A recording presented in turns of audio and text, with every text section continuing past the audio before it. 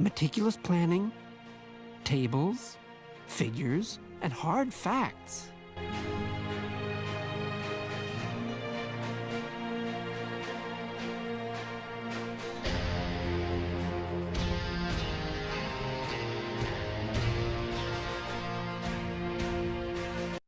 In 1863, on the banks of the Missouri River, the last chapter in the monumental undertaking of the Transcontinental Railroad began.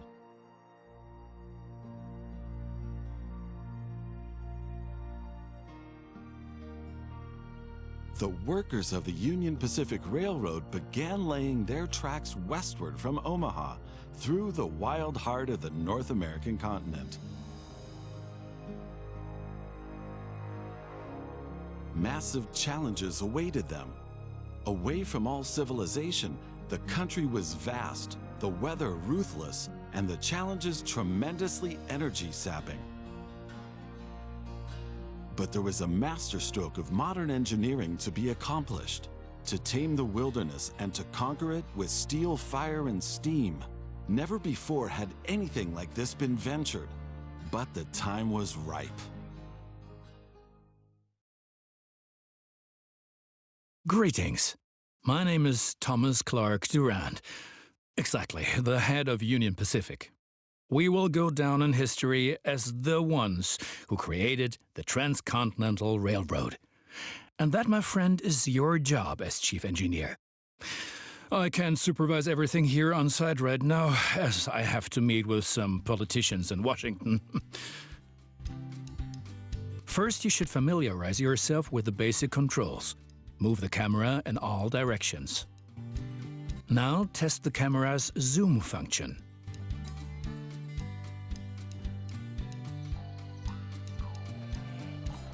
You can also rotate the camera. Give it a try. Very good. Now you know the basic controls. Your first task is to create a rail connection between Omaha and Norfolk to the northwest. Both cities will need a station for this. You already have a station in Omaha, but you still need to build one in Norfolk. To do this, switch to building construction mode.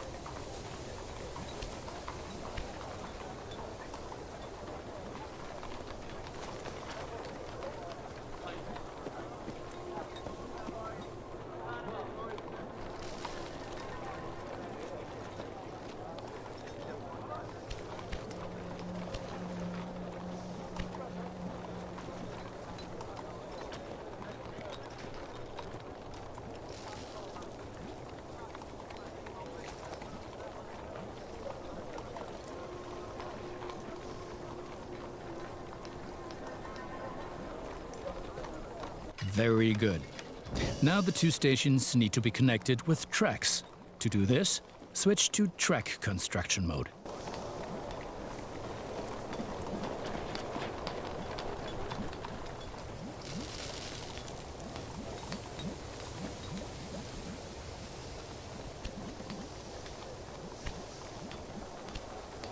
Now plan the tracks between the stations in Norfolk and Omaha. To do this, select the two station tracks one after the other. Then pay for your track planning.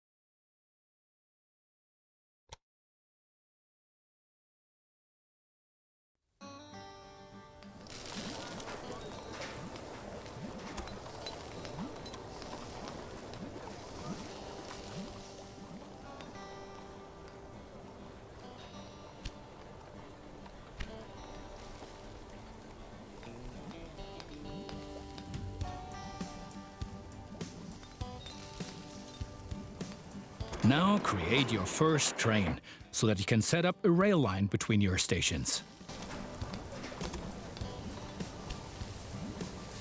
Initially, your train only exists on paper. It's not much use to you without a locomotive.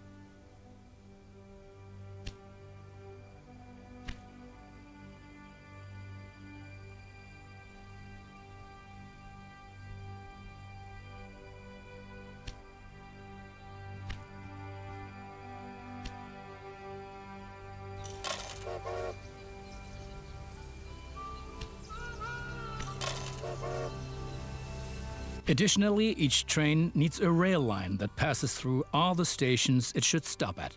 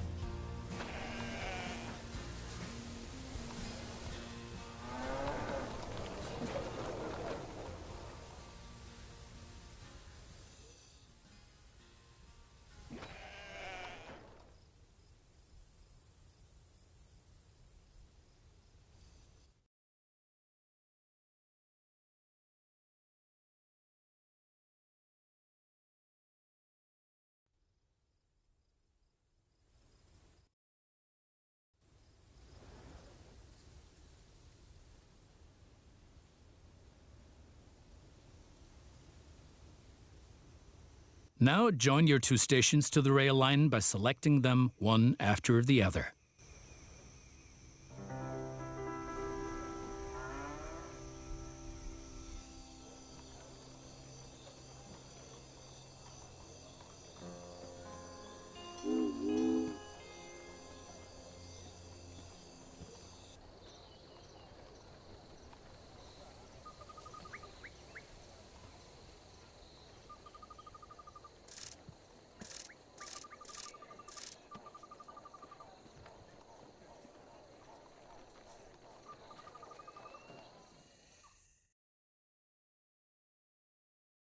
That's enough for your first rail line.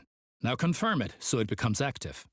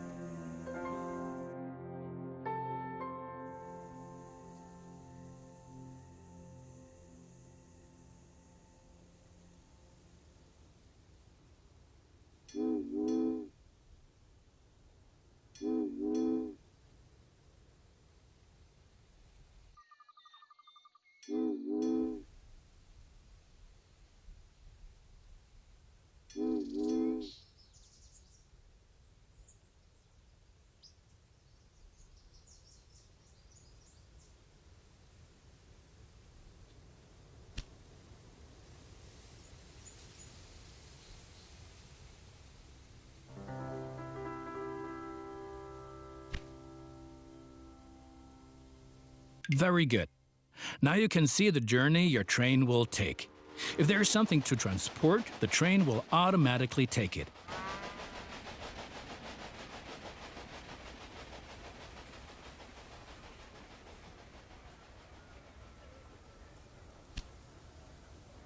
Very good. Your train is now traveling between Omaha and Norfolk. But you can do even more. Each city needs goods from the surrounding area. For example, every city needs corn. Look, there is a corn farm near Omaha. Until now, the corn has made it to the city in the conventional way, but we want to change that. Now construct a rural train station in the marked location with a corn farm within its radius.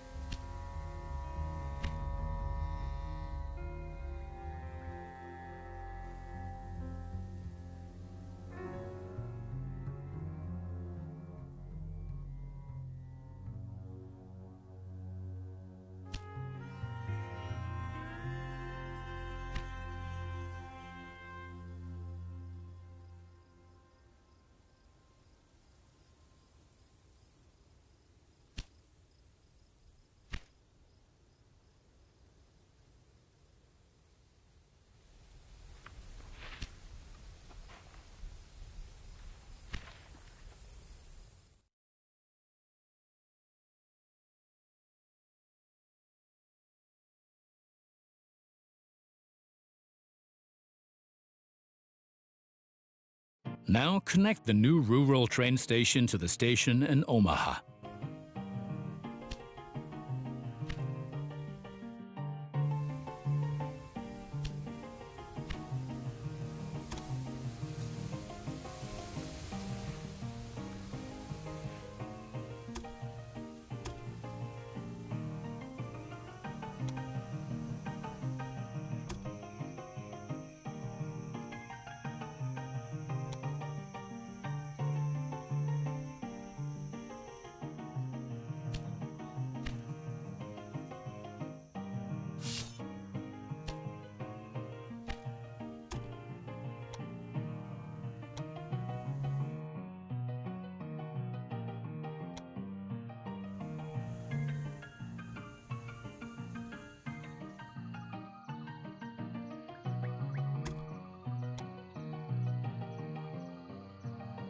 things are getting tricky as we have to deal with a logistical problem.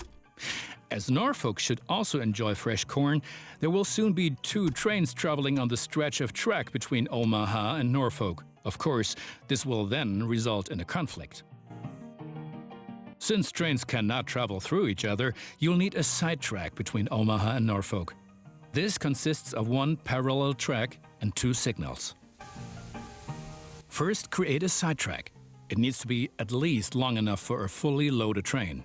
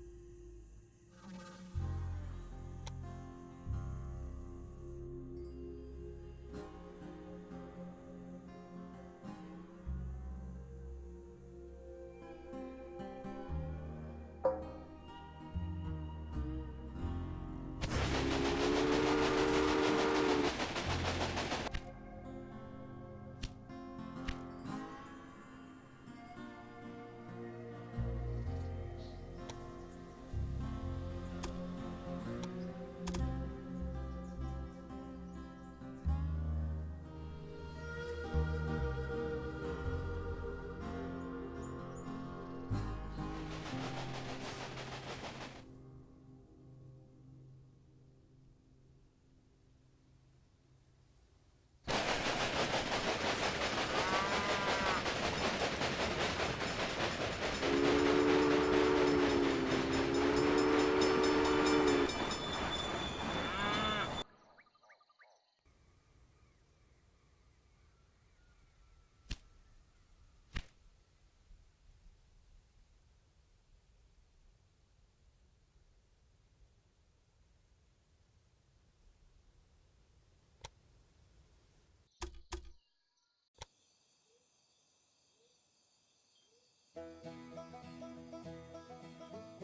excellent.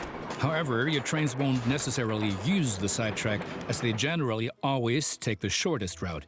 For this reason, you also have to specify the direction of travel on each parallel track. Now open Building Construction mode and set up a signal in the highlighted area pointing in the direction of the switch. Trains will then be able to stop here when the single track is in use.